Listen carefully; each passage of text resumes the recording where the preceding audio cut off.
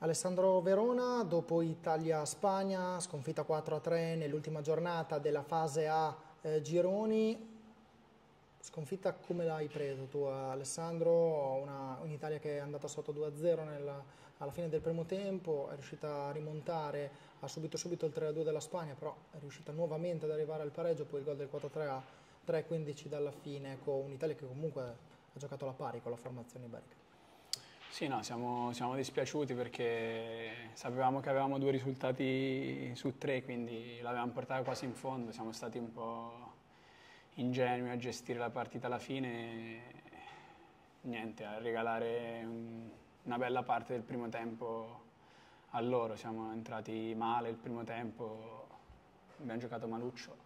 però dopo il secondo siamo arrivati tante volte in porta e secondo me il pareggio era giusto. Il, e, però alla fine abbiamo preso quel gol lì, niente, dobbiamo imparare da, da, queste piccole cose che sono quelle che ti portano a vincere un mondiale. Siamo amareggiati, ci dispiace, però ora domani abbiamo un giorno di riposo, poi pensiamo a quarti di finale che saranno un'altra dura battaglia perché per arrivare in semifinale c'è quella partita lì e dobbiamo pensare solo a quella. Ecco, infatti Alessandro andrei subito ad analizzare il quarto di finale perché Italia-Angola sarà un match eh, decisamente, eh, non è un match sicuramente semplice ecco, per, per, voi. No, lo sappiamo benissimo, tutte le partite che, che ultimamente abbiamo fatto con l'Angola, ci ricordiamo nell'ultimo mondiale siamo quasi usciti ai quarti se non per una rimonta eh, nel secondo tempo, quindi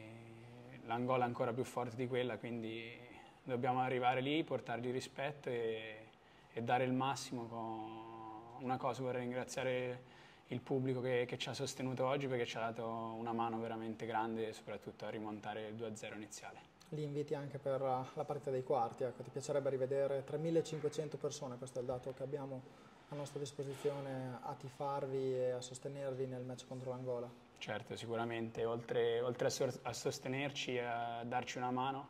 perché un giocatore in pista lo sente, è anche un grande spettacolo, una grande promozione per il nostro sport. Ecco Alessandro, una valutazione però, l'Italia ha giocato quasi alla pari, ha giocato alla pari con la Spagna e questo è un risultato che deve, può far bene ecco, anche moralmente perché va bene, il risultato non è stato quello desiderato, però la partita alla fine comunque ha visto due squadre che si sono equivalse, quindi vuol dire che l'Italia c'è e come. No, sì, sappiamo che, che loro sono più forti, però secondo me bisogna smettere di, di essere contenti e di accontentarci quando, eh, come stasera, perdiamo una partita perché ce la siamo giocata. Bisogna cominciare a dire che quando si perde